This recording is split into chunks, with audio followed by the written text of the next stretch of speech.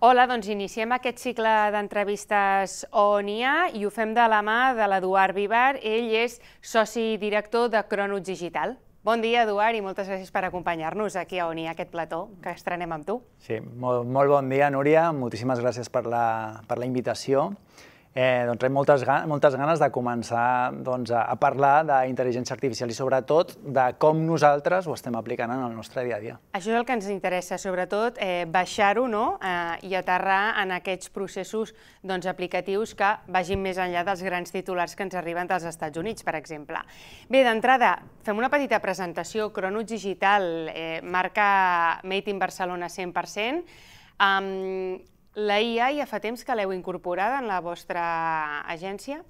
Doncs mira, eh, nosaltres vam començar fa cinc anys, pre-Covid, justament després de que, de que jo que és un, un màster en transformació digital amb els meus dos socis, l'Albert i el Borja, i des de llavors eh, nosaltres ens vam centrar molt en intentar donar resposta a, a tot el que és la necessitat que tenien les pimes, petites i mitjanes empreses, a l'hora de transformar-se digitalment. No? El nostre posicionament inicial era, escolta, nosaltres volem ser el decathlon de les petites i mitjanes empreses. I per què dic el decathlon? Boníssim. Perquè eh, al final tu quan vols iniciar un esport, eh, el que fas és vas al Decathlon i et compres una equipació doncs, barateta, però... El quechua de torn. Exacte, el quechua de torn eh, que et permeti doncs, començar a practicar aquest esport amb certes garanties. No? Doncs nosaltres volíem fer exactament el mateix per les petites i mitjanes empreses. I la veritat és que eh, la idea i el posicionament va tenir un market fit molt bo, però des de llavors doncs, clar, ha, ha passat moltes coses. No? Mm. Durant cinc anys, doncs, el que era el contingut per escrit doncs, tenia molt d'impacte, tot el que eren els blogs, però, clar, al llarg del temps doncs, hem vist que el vídeo cada cop s'ha anat imposant més i per això suposo que per això estem aquí, no?, amb, amb una sala de podcast. De fet, nosaltres internament vam haver d'adaptar una sala per, per donar resposta a la necessitat que tenien els nostres clients no? sobre la generació de contingut en vídeo i tenim una sala de podcast llavors. I des de llavors, evidentment, l'equip ha anat creixent i ara ha aparegut el que és la intel·ligència artificial. No? Uh mhm. -huh. Què està passant? Doncs que amb la IA generativa eh, estem veient com el contingut en escrit, les imatges i els vídeos s'estan democratitzant, o sigui, la generació d'aquest tipus de contingut s'ha democratitzat molt. I què vull dir amb això? Doncs que els clients que no són tontos estan veient que nosaltres tenim la capacitat de fer aquest tipus de continguts d'una manera molt més ràpida i molt més barata. I això què està fent? Què ens està fent a nosaltres? Doncs ens està, el mercat ens està imposant que nosaltres tinguem la capacitat de ser més productius. És a dir, hem de fer més amb els mateixos recursos. Amb el, els clients ens paguen exactament el mateix, però volen que el nostre output, que el que nosaltres generem, sigui molt més. No?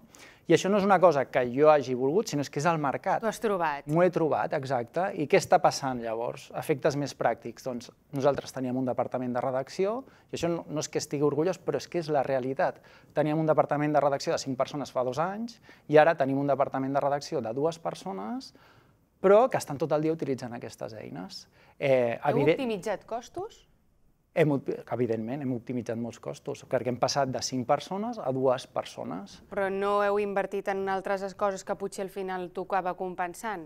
Bueno, el que hem fet, sobretot, és eh, el Departament de Redacció ha agafat menys protagonisme perquè s'ha apoyat en aquestes, en aquestes eines i ha aparegut, com t'estava dient, un, un departament d'edició i producció audiovisual, que és amb la sala de podcast. No? Llavors, amb això, què et vull dir? Doncs que que nosaltres ens hem vist obligats a evolucionar. I ara estem en un punt en el qual doncs, les petites i mitjanes empreses ens demanen escolta, vosaltres que esteu en contacte amb aquesta tecnologia i que nosaltres som els principals afectats, què podem fer per aplicar-la en els nostres processos diaris, no? Com, com la puc jo mm, aplicar en el meu dia a dia? I això és el que estem fent ara. O sigui, nosaltres el, hem lluitat molt per estar on estem hem, i ja sigui un canvi d'algoritme o que ara el contingut digital es consumeixi d'una altra manera, o la IA no farà que nosaltres doncs, lluitem per, per prevaldre, no? i si ens hem d'adaptar i hem de començar a implementar aquestes eines internament i inclús assessorar i consultar i, i fer de consultors per empreses externes, doncs ho farem. Mira, el, justament fa uns dies la revista Nature eh, el que deia era bé, la IA està molt bé, però compta en aplicar-la a terceres persones, és a dir, que primer la IA sigui una cosa més experimental per nosaltres mateixos perquè encara mostra unes certes deficiències molt greus perquè siguin vàlides, doncs, per exemple, en empreses. Uh, aquesta auditoria seria una mica també la vostra tasca, és a dir, compte, la IA pot anar molt bé, però encara estem en una fase amb molta prova i error? Uh, els models d'intel·ligència artificial estan, estan evolucionant molt ràpid, és a dir, el ChatGPT 3.5 de fa un any i mig no té res a veure amb el ChatGPT 4 o el ChatGPT 4 o, que, el O1, perdó, que uh -huh. ha sortit ara mateix. Eh, el que és molt important quan s'utilitzen, es comencen a utilitzar aquestes eines d'intel·ligència artificial és sobretot que es revisin. No? Tot l'output que en genera aquesta, aquests algoritmes de deep learning s'han de revisar. I el que t'anava a dir, de fet, és que en el nostre departament de redacció hi ha dues persones que sí que generen contingut apoyant-se amb aquest tipus d'eines, però es passen la gran majoria de temps revisant tot el que, tot el que eh, aquests llenguatges de, de deep learning els estan, els estan donant. La qual cosa, el que et vull dir és que la revisió és totalment necessària. I després, evidentment, quan comences a utilitzar aquests models, hi ha un, hi ha un procés d'iteració, és a dir, el primer output o la, la primera resposta que et donen aquests models mai és la bona i no l'hem de donar com a bona mai. Llavors, el que hem de demanar és seguir interactuant amb els models per tal de que la resposta sigui el més contextualitzada amb el cas en concret en què ens estem trobant. Us definiu com una agència o una empresa de serveis de màrqueting, de comunicació, com la IA al final està transformant el poder de les paraules, no? A veure, la, la transformació digital eh, és, un, és un àmbit que és molt transversal. Val? O sigui, va començar influint sobretot el que era el màrqueting, però ara també toca altres aspectes, sobretot relacionats amb la tecnologia, CRMs, email marketing i de més. No? Llavors, eh, què està passant amb la IA? La IA pensa que el 90% del contingut que es generarà el 2025 serà generat amb IA. I això no ho dic jo, això són dades de Google i són dades dels top voices, no, els referents del sector. Però perdona, quan parles de contingut, en quin àmbit? En l'àmbit escrit. Escrit. Inclou el periodisme? Aquí bueno, que no, no? Però... Bueno, clar, jo aquí, aquí m'estic posant en un terreny una mica pantanós, sí, sí, sí. però o sigui, el que et vull dir és que no és que estigui 100% generat, és a dir, que jo agafi l'output i faci un copy-paste, que això és el que t'he dit que no s'ha de fer, no? sinó que ens apoyem amb, amb aquest tipus d'eines per tal de ser més productius, d'intentar arribar una miqueta més lluny. No? I responent a la teva pregunta, que em deies, escolta, la IA eh, ens està afectant transversalment, o sigui, ara mateix la IA, els models de llenguatge d'intel·ligència artificial, estan sent molt efectius amb el que és la generació de contingut, la IA generativa, no?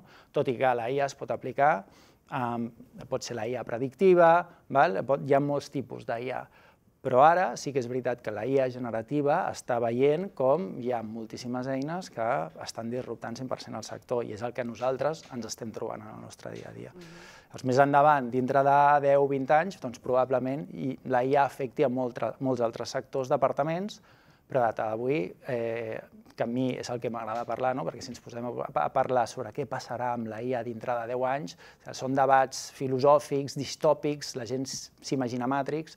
Correcte. Crec que, crec que no toca, a part que són debats que la gent utilitza per resistir-se una mica al canvi, no? Uh -huh. Per dir, escolta, jo la IA, com que total, com que acabarem així, no l'aplico. Escolta, la IA és un tren que ve molt ràpid i més val que ens hi pugem perquè és que si no ens passarà per sobre. Edu, um, anem a, a fer l'exemple pràctic. Primera recomanació, gran consell, frase que li donaries a una petita mitjana empresa radicada a casa nostra que ens digui escolta, amb el màrqueting tinc un departament que allà alguna cosa flaqueja, què haig de fer? Recomanació inicial que donaries eh, com a soci director de Cronuts. Mira, nosaltres quan anem a empreses a aplicar o veure de quina manera podem aplicar la intel·ligència artificial, la primera cosa que ens trobem és, eh, evidentment, resistència al canvi per part de, doncs no, no els equips directius, perquè els equips directius probablement han triat que vagis tu cap allà i els hi donis un cop de mà, però sí que ens trobem amb un, amb un xoc cultural, no? És a dir, el, esto siempre s'ha hecho así o sempre s'ha fet així, no? I què, què has de venir la por, tu... La por dels canvis. Exacte, exacte. I després també hi ha una cosa molt important que ens trobem, i és que potser no els equips directius o el middle management, que se li diu als, als rangs intermitjos, ens trobem amb el, a vegades, i és una frase que realment a mi m'explota el cap quan l'escolto, que és, no, no, és que a mi la tecnologia no se'm dona bé. És un avui, clàssic, aquesta, eh? Sí, és un clàssic, Núria, però estem, avui en dia no pots dir això, o sigui, no es pot dir. O sigui, és com dir que avui, és, que, és com dir fa 10 anys que no, és que a mi la lectura no, no m'agrada. Però això no t'ho diu només un per l'edat, sinó que jo crec que és transgeneracional, aquesta frase. Totalment. Un de 20 i pocs encara també et pot dir, escolta, és que em fa mandra organitzar això, per... saps? Però mira, jo crec que tu ho has dit molt ara mateix, em fa mandra. Sí. O sigui, no és que se'm doni malament, no, sinó és que, que no vull. És que no vull. El meu cervell d'homo sapiens el que fa és prefereixo estalviar energia, no? És a dir, tinc jo sempre he fet una cosa d'una manera i jo sé fer-ho d'aquesta manera. Ara, sé que utilitzant ChatGPT diuen que ho podria fer més ràpid, però clar, llavors estic en aquella dicotomia de dir, escolta, ara haig de fer un esforç mental per aprendre com s'utilitza... No, doncs prefereixo fer-ho com ho he fet tota la vida. I això, aquest és el principal motiu pel qual la gent doncs, li costa tant canviar. No hi ha tanta por que la IA et prengui la cadira com la mandra que et fa aquest reciclatge. Exacte. No? Aleshores... Sí, i després, responent a, a la pregunta que m'has llançat, sí. és a dir, com ho faria? Doncs mira, Posem el cas de la Núria Casas. Jo sé que tu, per exemple, si no et sap greu, eh? No, no, si tenim sé... confiança, eh? Vale. Jo sé que tu, per exemple, tens diverses col·laboracions, no? Doncs mm, una de les coses que a Cronuts fem no? és nosaltres, per cada un dels nostres clients, tenim un GPT personalitzat. És a dir, no fa falta, que posem per cas, que jo tinc un client que em demana redactar un e-mail. Jo ja tinc un GPT personalitzat per a aquell client en qüestió en el qual li he donat context sobre el to comunicatiu, els productes que ven, li he donat tota la informació d'aquell client, de tal manera que quan jo tinc un requeriment d'aquell client, de la del client A, del B o del C, jo vaig i ja puc començar a redactar i no fa falta que li doni context. En el teu cas, doncs escolta, quan toca parlar de temes d'intel·ligència artificial, no té res a veure en quan has de parlar amb temes esportius, de mm. temes esportius. Escolta, doncs tenir un GPT personalitzat per cada una de les tasques grans tasques que tu hagis de realitzar en el teu dia a dia. I després, en cada empresa que anem, sempre hi ha una persona, una o dues persones, o tres, hi ha un grup de persones que són els abanderats, els que realment estan intentant imposar o promoure aquest tipus d'eines. No? Escolta, que he vist aquesta eina que mm, fa les imatges o fa aquests vídeos o fa el que sigui. Uh -huh. El que moltes vegades ens trobem en empreses és que a nivell de management eh, i de direcció la gent li costa, no? Diu, escolta, no m'atabalis, és igual, anem a utilitzar l'eina que vam acordar fa dos mesos, però és que això va tan ràpid que... Ha caducat. Ha caducat, potser ha caducat, potser ja no funciona tan bé com una altra eina, llavors jo el que incentivo molt, sobretot, és en provar. En provar perquè hi ha eines que potser surten avui, que exactament com tu deies, doncs fa dues setmanes que, que, que no existien i que fan les coses molt millor. Quin és el, el, la pèrdua potencial? La pèrdua potencial són els 10, 20, 30 o 40 euros al mes, que no és res, perquè aquest tipus d'eines és el que costen, versus, escolta, que m'estalvi doncs, 4, 10, 30, 40 hores. I en el pitjor dels casos, escolta, no ha funcionat, doncs, escolta, doncs de, deixem de pagar la subscripció i en provem una altra o ens quedem amb el que ja funcionava millor i ja està. Escolta, un dels lemes de Cronuts, menys slides, més acció. Què vol dir això? Bueno, les grans consultores, al final, el que et venen és aquell, aquella gran presentació, no? Amb 30, PowerPoints. Aquests PowerPoints amb 30.000 milions de slides que et diuen tot el que has de fer, tot el que fas malament. Que ara l'hem maquillat amb el Canva, el exacte, PowerPoint. Eh? Exacte, ara, ara, ara és més maco. Ara queda més fashion. Però, però t'estan dient el mateix, sí. t'estan dient tot el que fas malament. Llavors, eh, nosaltres, clar, nosaltres veiem aquest model i realment ens repelia una mica, dèiem, és que quin valor li estàs aportant al client? Nosaltres el que ens agrada és baixar el fang, no? I realment implementar aquestes eines. Llavors, i el tema de la intel·ligència artificial és un exemple. O sigui, nosaltres podríem, podríem deixar-ho en dir als clients, escolta, mira, el que has d'utilitzar és això, però és que a part anem a casa teva i t'ensenyo realment com, com ho has d'implementar i t'ajudo a formar el teu equip i t'ajudo a fer aquest canvi cultural que requereix començar a implementar aquestes eines, perquè no ens enganyem. Al final, implementar un procés el podem implementar tu i jo ara en 30 segons. Ara bé, que realment s'utilitzi és, és el repte, no? I això és el que ens estem trobant. I després, una altra cosa que jo també crec que ens pot interessar molt als espectadors eh, és eh, aquestes ajudes governamentals, aquests kits digitals, aquests kit consultings, que crec que tens un màster amb ells. Com ho saps? I també crec que ens pot anar molt bé que la teva veu acreditada doncs, ens expliqui una mica la situació i com adquirir-los. Mm. A veure, una, Comencem per lo positiu, no? i potser després Val. ens movem una miqueta en els temes doncs, potser més grisos. No?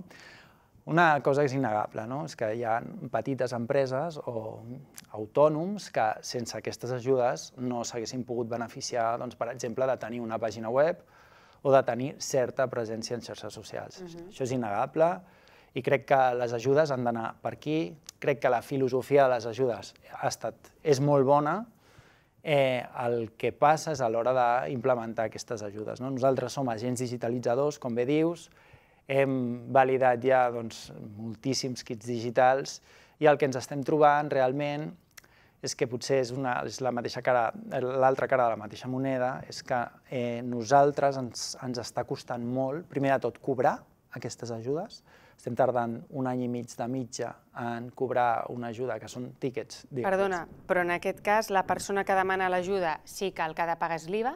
Correcte. Val? Això és la, el preu que aquest sí que no te'l donen, vull Correcte. normal. I l'altre, clar, mm, l'autònom se'n desentén i és la gent qui es responsabilitza de ja cobrar-lo i de gestionar-lo. Ah, exactament. A veure, s'ha de dir que aquest IVA és un IVA que tu et dedueixes. La qual cosa, sí. o sigui, al final... Queda amb zero. Si tens un efecte caixa, que això sí que és veritat que a la gent potser a vegades li costa entendre el tema de l'IVA suportat, tens un efecte caixa, però al final acaba, acaba sent zero l'impacte. I, I després, eh, sí, el que ens estem trobant és això, no? que al final la responsabilitat de cobrar i d'executar aquest servei recau sobre els agents digitalitzadors. I per què costa tant? Què està passant? Quants retards hi ha? És que, és clar, això bueno, és que és el de sempre amb el tema de l'administració. Sí, la veritat és que... Ho, ho trobem amb el Pla Moves, és que, perdona que, que, que ara mm. t'interrompi, però és que, clar, mm, qualsevol cosa, mm, al final els diners també perden valor amb el temps, no? O es revaloritzen, al contrari, sí. hauria d'haver-hi un interès, perquè... Sí, sí, perquè un any i mig és, és moltíssim. Molt bèstia, això. Sí, realment nosaltres tenim, som uns més de 1.000 agents digitalitzadors a, a tota Espanya i el que estem veient és que, és que hi ha hagut molts agents digitalitzadors precisament que han cabrat precisament per aquesta falta de liquidesa que, que ha suposat no? en, els seus, en els seus estats financers. Nosaltres, a nivell de caixa, doncs sí que ho estem patint, però bueno, eh, gràcies a Déu ara estem començant a cobrar aquestes ajudes que vam començar i sí que és cert que al final tu també aprens, no? O sigui, aprens el que, el que et volen demanar, depèn molt també del funcionari que et revisi totes les teves dades, eh, perquè hi ha alguns funcionaris que al principi et demanen unes coses però després te'n demanen unes, unes altres. Bueno, en qualsevol cas, eh, està sent, està sent un, un challenge, no? una cosa que és, és complicada i sobretot a nivell de responsabilitat. Jo insisteixo, o sigui, no és, no és just que nosaltres, com a agents digitalitzadors, si per exemple jo t'implemento una solució de CRM, per això és un cas real, eh, si, si t'implemento una solució de CRM, eh, no té cap mena de sentit de que si tu no l'utilitzes, perquè una de les coses que ens fan presentar són els logs d'accés, és a dir, que si la persona, el beneficiari, ha entrat a la solució eh, durant aquest any, eh, doncs nosaltres no ho cobrem. O sigui, això, això està passant, i escolta, la meva feina està feta, a mi aquesta persona, aquest, benefici, aquest beneficiari m'ha demanat aquesta tasca, jo l'he entregat, està bé, la solució està bé, però clar, no és responsabilitat meva que aquesta persona entri o deixi d'entrar a l'eina, i això se'ns està repercutint a nosaltres. No? Llavors, mm, sí que és veritat que la filosofia d'aquestes ajudes és molt bona, la implementació i la justificació costa una mica. I no poden anar a la persona que ha sol·licitat aquesta ajuda si no l'està utilitzant, en el, darrer terme? El tema és que nosaltres prestem el servei i cobrem el servei. Llavors, si aquesta ajuda no compleix amb les garanties o els estàndards que marca l'administració, l'administració no ens paga aquesta ajuda. I aquest, aquest és el problema amb el qual ens estem trobant. Déu-n'hi-do, eh? Déu nhi mm. I ara el proper repte, jo crec que primer va ser el kit digital i ara hi ha el kit consulting. Aquí va lligat a la IA? La, una de les, dels tíquets que té el Kit Consulting és la implementació de la, de la IA, o sigui, fer una consultoria genèrica relativa amb la IA o aplicar la IA amb tot el que és eh, el procés de visualització de dades. Val? El Kit Consulting el que d'alguna manera ens han promès és que eh, serà molt més fàcil i molt més àgil presentar totes les justificacions. De fet, el problema que s'està trobant l'administració és que hi ha uns fons que s'han otorgat, però és que aquests fons no s'han gastat. No han aconseguit gastar aquests fons amb tot aquest temps que portem intentant doncs, que la gent, que els empresaris, els autònoms, doncs, utilitzin aquestes ajudes. No? Això és el que ens han promès. Què passa? Que l'altre dia, doncs, bueno, fa relativament poc, perquè això és bastant nou, estava revisant una mica les, els requeriments uh -huh. i un dels requeriments, per exemple, és que nosaltres hem de gravar totes les reunions que, que, que fem amb el client, que això de bones a primeres doncs, bueno, em sembla bé, sí, no hi ha cap mena de problema. Però clar, jo penso, ostres, si som tants agents digitalitzadors, ha d'haver-hi una contrapart a nivell de l'administració que tingui la capacitat de revisar tot això. I quant de temps tardarà en revisar, doncs jo què sé, estem parlant de 60 hores de reunions, 50, 40, les que siguin. Serà molt. I tinc el pressentiment de que ens anirem una mica, ens acabarem demorant amb el tema del pagament, com ja està passant amb el kit digital. déu nhi eh? O sigui, això de la gravació és una cosa que han afegit ad hoc o...? És una cosa nova. Jo la veritat és que no sé ben bé, mm, estem, estem començant a executar-los i sí que és veritat que comencem a... Evidentment, les gravacions han d'estar en espanyol perquè s'han de poder revisar. Eh, i és una cosa bastant nova. No et sé dir quin és, si anirà bé, anirà malament. O sigui, em sembla de bones a primeres que té sentit, perquè el que ens trobàvem a vegades és que, eh, clar, el kit digital estava molt marcat i estava molt, eh, molt definit. I a vegades un client necessitava una solució que s'anava una mica d'aquests estàndards que et marcava el kit digital. Però, clar, com que no entrava, llavors ja hi havia com un petit conflicte. Val. Això el, que ens, el kit consulting el que ens, ens permet és ser una mica més flexibles a l'hora de justificar, sempre quan es demostri que hi ha hagut una feina darrere, eh, però no sé fins a quin punt es posaran a revisar aquestes, aquestes gravacions i, a part, evidentment, una memòria que recomanen que sigui de 70 pàgines. És a dir, nosaltres haurem de generar molt de contingut, el meu dubte és si realment eh, la contraprestació o l'administració la, tindrà la capacitat de revisar. Us surt a compte? tanta feina? Doncs és un dubte, és una cosa que, que amb els meus socis realment ens, uh, ens, ens qüestionem bastant. Però mira, jo et dic, et dic una cosa, o sigui, en, nosaltres ens hem vist obligats a ser agents digitalitzadors. Perquè què, què passa si ara tu el dia de demà ve el govern i diu mira, tots els treballs relacionats amb periodisme, no et preocupis que jo te'ls pagaré uh. -huh. al govern. Clar, nosaltres ens hem, vist, ens hem vist obligats a ser agents digitalitzadors perquè si no, com totes les empreses... Com accedeixes? Exacte, i totes les empreses passaven tots els seus serveis de transformació digital a través del kit consulting, del, del kit digital, perdó. Llavors, clar, si tu no formes part d'aquest grup, no podies, no podies no monetitzar. Exacte, no tens mercat. I això ha suposat, bueno, ha suposat un repte per nosaltres. Ha estat primer de tot una necessitat, però ara que la cosa ja s'està estabilitzant una miqueta i a clients que, bueno, que el, el kit digital per sort ja l'han consumit, doncs sí que la cosa s'està està tornant una miqueta més a la normalitat. Edu, per acabar, on esteu de Barcelona? Estem a carrer Ibau amb Travessera de Gràcia i sobretot estem a, a, a, en el món digital, en l'ecosistema digital. També molt actius a les xarxes. Ah, T'ho pregunto perquè al final m'agradaria acabar doncs, amb una petita reflexió sobre quin moment, si dolç, agredolç, viu la, la digitalització a casa nostra i en aquest cas a, a Barcelona. Em, jo, Catalunya també, sí, podem extens. Sí. Jo el, el que penso és que aquí a Catalunya tenim un teixit eh, productiu a nivell de transformació digital molt profund. El bo que tenim, penso jo, és que tenim eh, empreses mitjanes eh, que tenen la capacitat, amb tots aquests canvis, no? tots aquests canvis suposen una amenaça però també suposen una oportunitat. Les empreses petites tenen la capacitat d'adaptar-se molt més ràpid que les grans empreses. No? Llavors, el nostre teixit productiu està format bàsicament per pimes que, que, que tenen aquesta capacitat. Llavors, jo el que estic veient és que el sector està, està vivint un, un challenge, no? està vivint un, un moment doncs, bastant crític, però, però penso que aquelles empreses que facin l'esforç doncs, una miqueta com nosaltres, doncs ens sortiran, ens sortiran molt reforçades. I aprofitar precisament el potencial i el gruix de pimes que hi ha a tota Catalunya perquè és un país de pimes, Catalunya, no? I en el conjunt Espanya, però jo crec que amb això es diferencia bastant. Correcte. Molt bé, doncs t'agraeixo moltíssim la sinceritat amb la que ens has parlat, segur que serà ben productiva i profitosa, i fins la propera. Moltes gràcies, Núria. Eduard Vivar, soci director també de Cronuts Digital. Moltes gràcies i més capítols a ONIA.